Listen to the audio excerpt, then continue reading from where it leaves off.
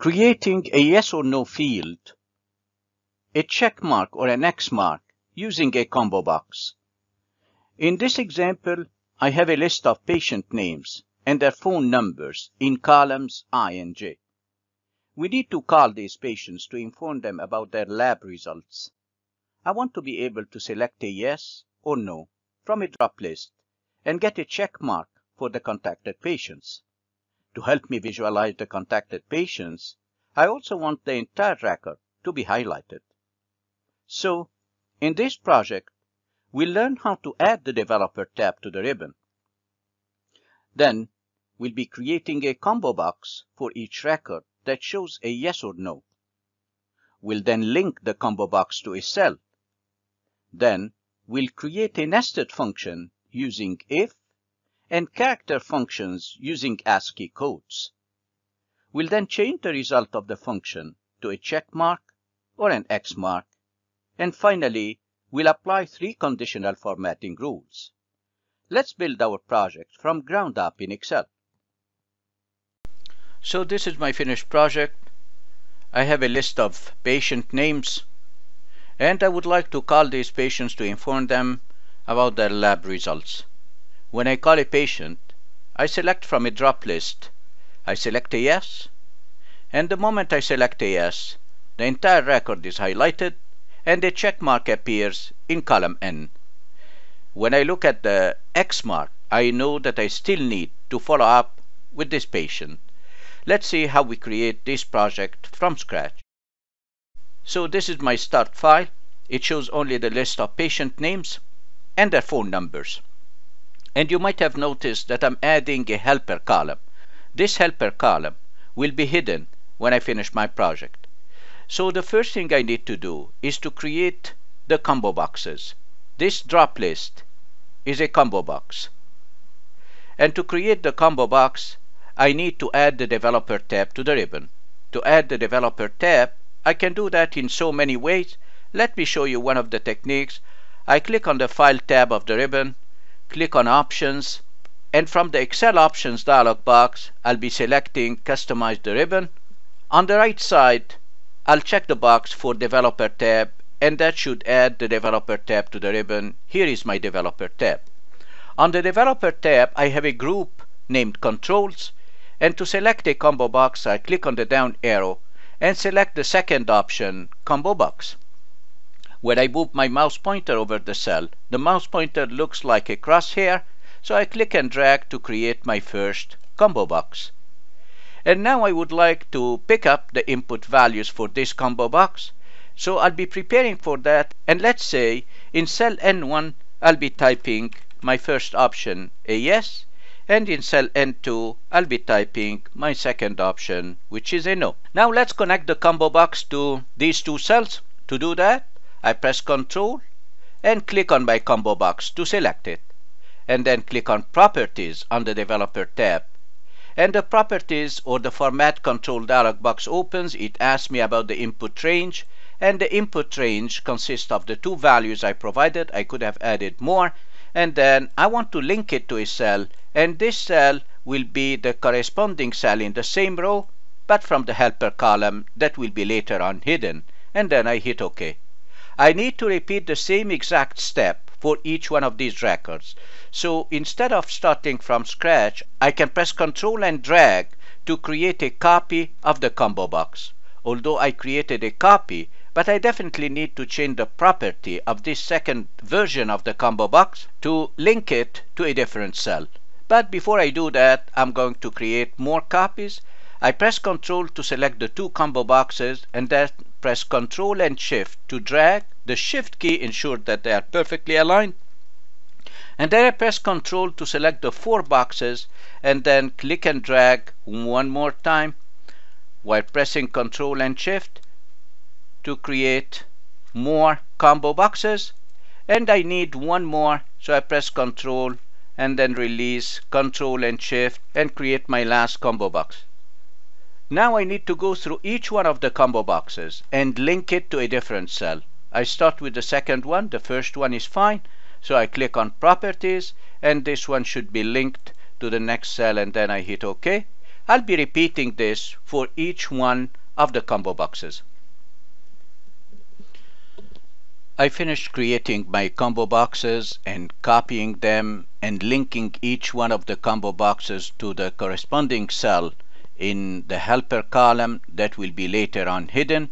Now what I would like to do is to adjust the vertical alignment and the vertical spacing so I could select each one of the combo boxes while pressing the control key on my keyboard.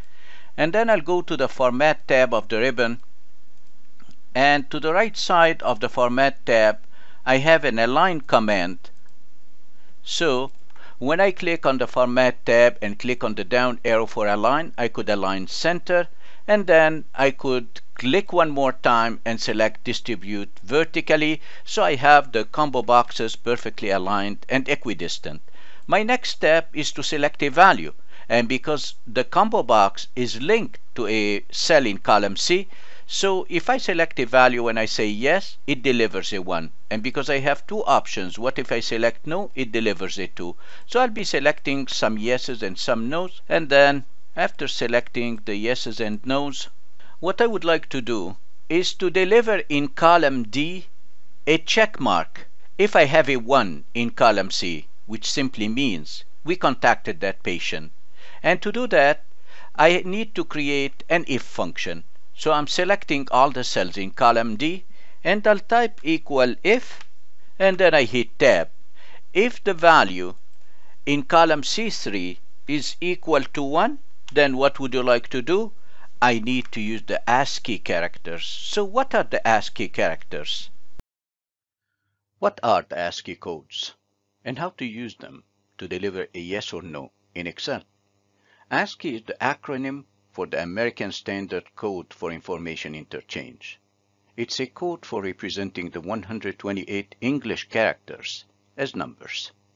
Each letter is assigned a number from 0 to 127. For example, the ASCII code for uppercase M is 77. ASCII codes from 65 to 90 corresponds to letters A to Z in uppercase. ASCII codes from 97 to 122 corresponds to letters A to Z in lowercase. In Excel, the character function converts the ASCII numbers to characters. Example, if I type equal character 65, it returns capital A. We can change the appearance of these letters by changing the font type. To deliver a check mark, we use equal character 252. To deliver an X mark, we use equal character 251. Now, let's do it in Excel. So I typed equal if C3 is equal to 1. In this case, I need to deliver a check mark which is character 252 Otherwise, I need to deliver an X mark which is character 251. I close the bracket for the second character function, I close the bracket for the if function, and to populate my function I hit Control Enter. What are these characters? They don't look like a check mark or an X mark. Yeah, you can change the appearance of these characters because these are linked to fonts. So if you change the font type and select a special font type, called Wingding. I'm going to scroll down to letter W and the moment I select Wingdings, it converts the delivered characters from the if function to a check mark and an X mark. My last step will be creating conditional formatting rules. So I'll be creating a conditional formatting rule to convert the check mark to green and another conditional formatting rule to convert the X mark to red and then I'll be creating a third conditional formatting rule to highlight the entire record. And finally, I'll be hiding column C, the helper column. Let's start by creating the first conditional formatting rule. I click on conditional format and then select a new rule. I need to create a new rule using a formula. So I select use formula. And in this cell, I say if C3 and this one should be unlocked to populate the conditional formatting rule if it is equal to 1, I would like to apply this format. So I click on format and then say I want it to be bold and I want it to be green and then hit OK twice and I would have applied my first conditional formatting rule.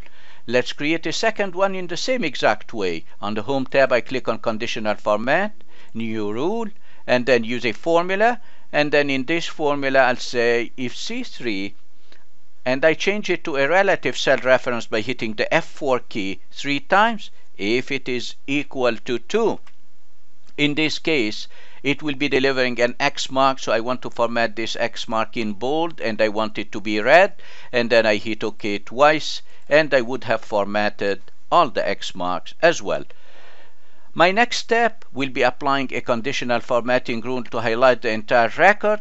So I select the patient name and the phone number and say I want to apply a conditional formatting rule using a formula. So click on new rule, use a formula, and from the perspective of this active cell, which is the name of the first patient, I would like to say if cell C3 and this one should be locked to the column only so I hit the F4 key twice so I have a dollar sign in front of the column letter. So when the rule is populated in the entire range it always look in column C at the same row.